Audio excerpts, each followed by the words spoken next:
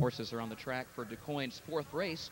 Win Place Show, exacta trifecta wagering. Non-winners of two parimutuel races are $5,000 life for Pacers. Number one, Al's Pride, owned by Mary Lee Jeffers of Flat Rock, trained by Ray Hanna, Tom Simmons in the bike. Number two, RJ Honor, leased by Tom Throgmorton of Carbondale. The trainer is Willie Jones. The driver is Mike Rogers. Number three, Fox Valley Josh, owned by Dale Richardson and Kenneth Schrock of Tuscola and Arthur, trained by Rick Schrock, and Rick is in the bike. Number four, Joey Revrack. John Carver of Rock Island is the owner. Irvin Miller trains. Andy Miller drives. Number five, Reigning Terror. Owned by Dave Snyder, Charles Heleny, and Leela Southard. Trained by Dave Snyder, the driver, Randall Finn. Six is Fox Mulder. Randy Gorell is the owner. He is from Newton. Randy trains, and Rick Gorell drives. Scratch the seven. Light escape is scratched. Post time in only four minutes. Here they come.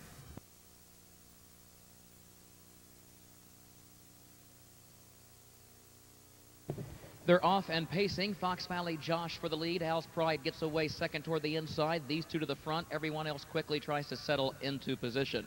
And Fox Valley Josh is still parked around the turn. Al's Pride lets him go. Tom Simmons leaning back in the race bike trying to get Al's Pride to restrain his early speed. Fox Valley Josh gets the lead. Simmons relaxes in the race bike with Al's Pride in second.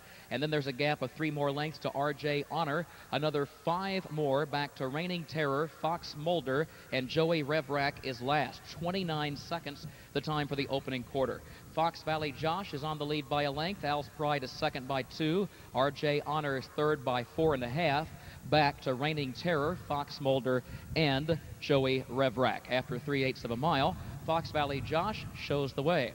And Fox Valley Josh leads Al's Pride by one length. Another two lengths to R.J. Honor, who's closing that gap from third. Gap of four more to Fox Mulder, who moves up outside of Reigning Terror.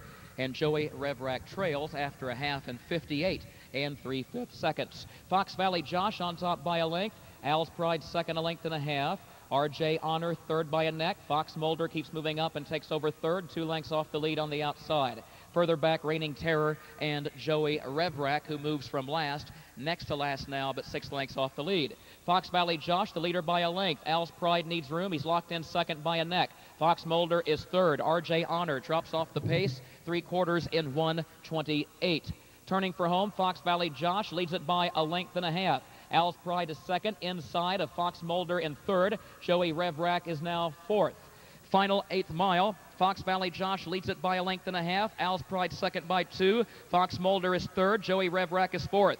Fox Valley Josh by a length and a half. Al's Pride is second. Fox Valley Josh takes it. Fox Valley Josh by just over two lengths.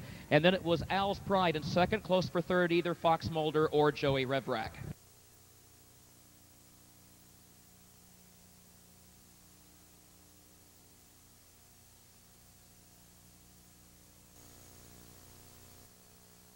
Result is official for the fourth race, 3164 official.